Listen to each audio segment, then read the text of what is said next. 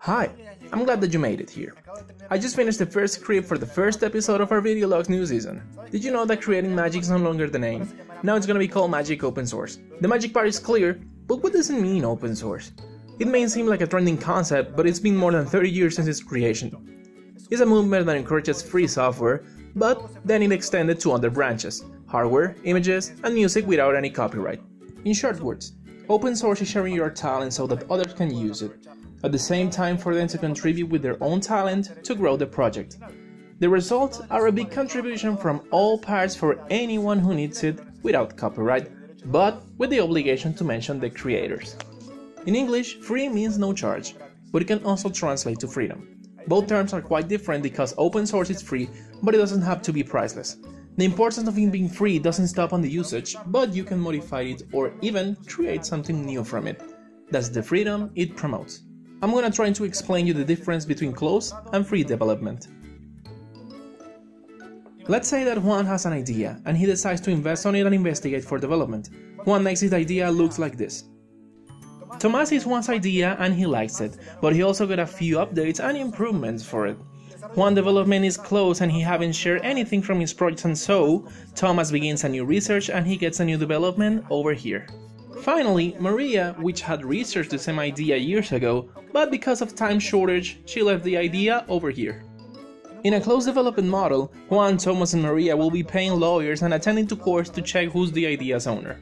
Juan for making it popular, maybe Thomas for the important improvements on it, or Maria because she had the idea first, even though she left the research. What's missing here is that these discoveries are only the actual reachable state in a process, and giving it the exclusive use is just adding a barrier for its competition, which means that there's a possibility for the idea to die there if there's no more research on it, even though there's people wanting to do it. Now let's imagine the same scenario, but this time Maria publishes her research and makes it open source. Without knowing it, Juan has the same idea as Maria, but when Juan starts investigating, discovered that Maria published her discoveries and so Juan starts his work here where Maria left it.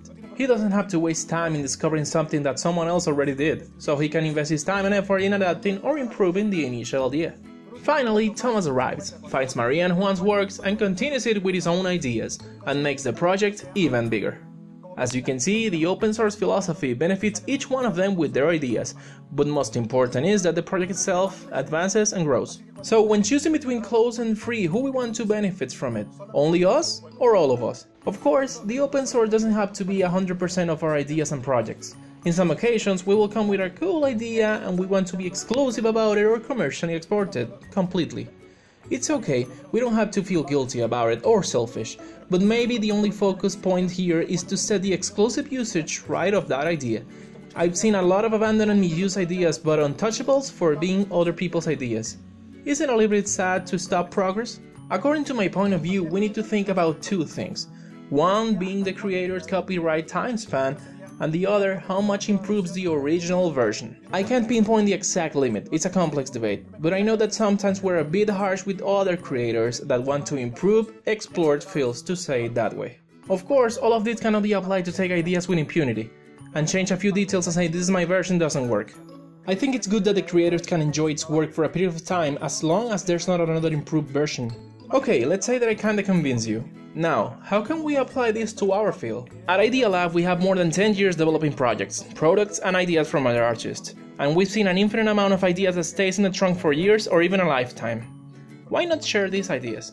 An idea in a trunk is not worth it. An idea is worth the work that you put on it, and I'll give you the best and main reason to share it. Make the world better, make your profession better, and let others improve your contribution.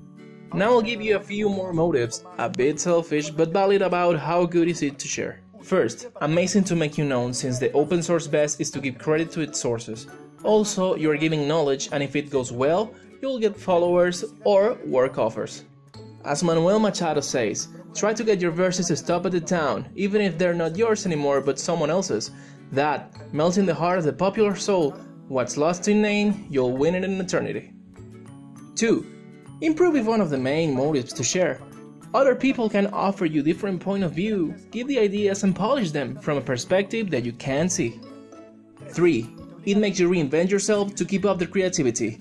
You cannot fall asleep at the job anymore. Now the people are worth for the capacity to make new ideas and not for a unique one. 4. Publishing your ideas works as a test in the case of someone accusing you from copying or stealing it. You'll always have your post with date and time to prove it. 5. Some people say that whoever hits first, hit twice. Even when you share an idea to make profit, you still have an advantage. When someone tries to copy it, you'll have the version 2.0 ready. 6. When you have a great idea, it's unavoidable to get copy. You can make trademarks and go to court, but at the end you'll lose. You cannot avoid its progress forever. So publishing your idea will get you reputation and avoid bad moments. 7. If your idea is a commercial one, open source will avoid selling it or get a profit out of it. At first, it might seem that publishing the idea will make you lose buyers, but in reality, you're making a scope of transparency and so the buyers know exactly what he's paying for. Also, you are giving them the chance to adapt the product or the idea to their necessities because they have the resources for it. There's also a large group of buyers that will prefer to pay you to do the work instead of them, even if they have the resources for it. Finally, there's a buyer group that rate the creator's contribution and decide to pay for it. It's a way to show gratitude quite often.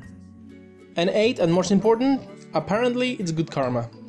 I hope that one of these motives I gave you cheers you up to start the open source philosophy. We from the video blog want to encourage it and that's why we changed the name.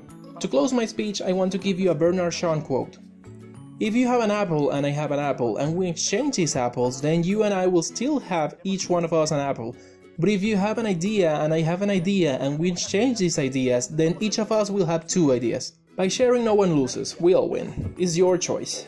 See you in a few days on the first episode of Magic Open Source.